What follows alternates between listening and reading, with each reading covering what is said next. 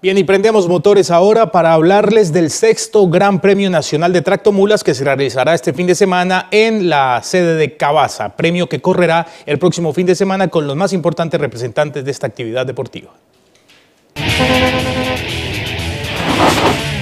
Desde hace seis años los pesos pesados del transporte tienen su cita anual en Cabaza. Desde el 2012 hasta hoy, que es el sexto Gran Premio Regional de Tractomulas, con un muy, gran, muy, buen gran resultado. Después de lo que se hace en Bogotá, con el móvil del BAC que hace las tractomulas, el evento nuestro es el segundo más grande del país.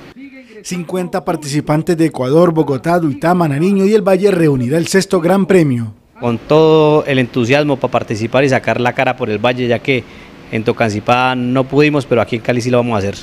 En competencias de eliminación medirán su pericia los mueleros en las categorías expertos y novatos. Pueden traer sus carros en los modelos que sea, pueden ser modelos antiguos, modelos nuevos, lo importante es que participen en el evento. La idea es disfrutar de esta pasión que nos, que nos invade a todos los conductores y propietarios. Entonces quiero debutar, ¿qué pasa con mi máquina? Este sábado serán las clasificaciones y el domingo las finales del sexto Gran Premio Transmipartes organizado por Cali Racing Club.